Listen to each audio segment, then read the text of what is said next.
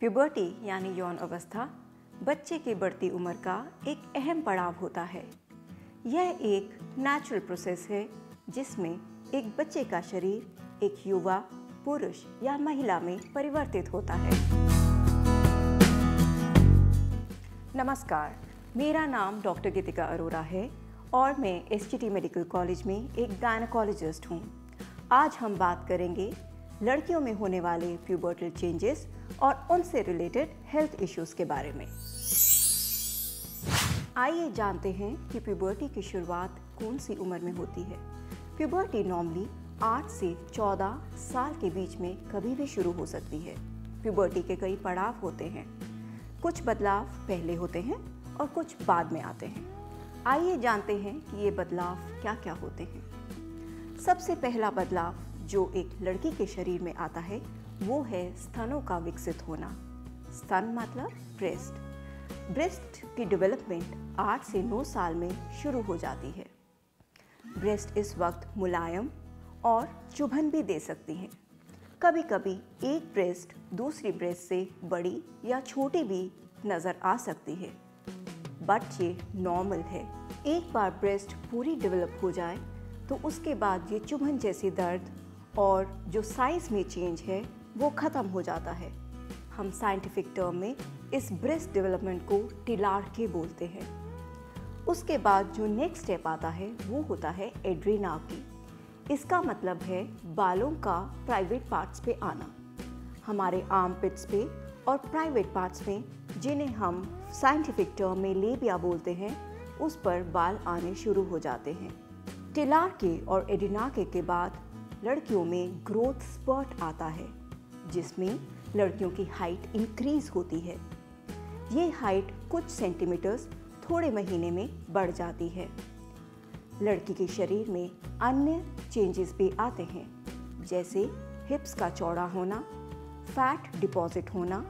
ये fat thighs और अपर arms पे डिपॉजिट होता है और एक लड़की का शरीर औरत के शरीर में चेंज होता है। इसके बाद जो लास्ट और सबसे इंपॉर्टेंट पार्ट है प्यूबर्टी का, वो है मेंसुरेशन जिसका मतलब है पीरियड्स मासिक धर्म इसमें लड़की को हर महीने चार से पाँच दिन के लिए ब्लीडिंग होती है और यह क्रिया 28 से 30 दिन के बाद रिपीट होती है। आइए जानते हैं कि मेंसुरेशन क्यों होती है। जब लड़की प्यूबर्टी अचीव करती है तो लड़की के ब्रेन से कुछ हॉर्मोन्स प्रोड्यूस होते हैं। ये हॉर्मोन्स जाके ओवरी जिसको हम अंडे दानी भी बोलते हैं, उसके ऊपर जाके एक्ट करते हैं। और ओवरी दो मादा हॉर्मोन्स ईस्ट्रोजन और प्रोजेस्ट्रॉन बनाती हैं। ये ईस्ट्रोजन और प्रोजेस्ट्रॉन गर्भाशय में जाके उसकी अंदर की लाइनिंग को मोटा करते हैं और उसे गर्भधान के लिए प्रिपेयर करते हैं। प्यूबर्टी के बाद ओवरी से हर महीना एक यानी कि अंडा भी प्रोड्यूस होता है। यह अंडा अगर आदमी के शुक्राणु से मिले तो प्रेगनेंसी ठहर सकती है। लेकिन अगर ये ना हो तो यूट्रस की जो परत बनी थी, वह टूट के ब्लीडिंग की फॉर्म में वजाइना से बाहर आ जाती है। इसे हम मासिक धर्म बोलते हैं और यह हर महीने होता है।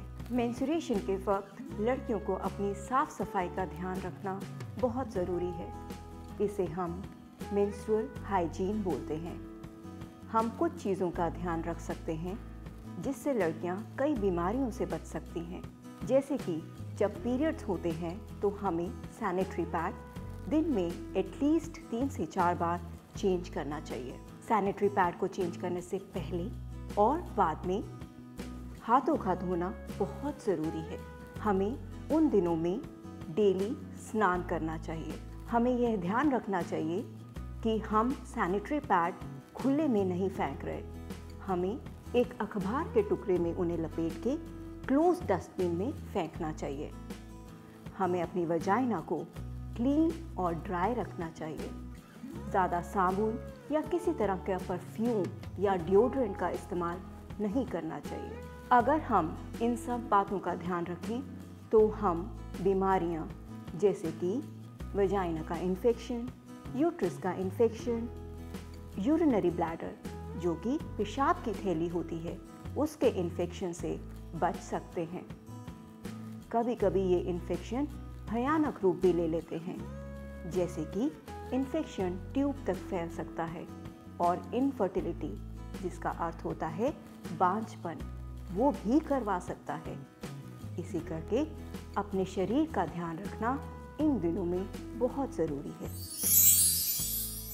लड़की को अगर कोई भी प्रॉब्लम हो रही है, जैसे नीचे से गंदा पानी छूट रहा है या पेशाब की कोई दिक्कत हो रही है तो उसे बेझिझक अपने बड़ों से या स्कूल में अपनी टीचर से बात करनी चाहिए।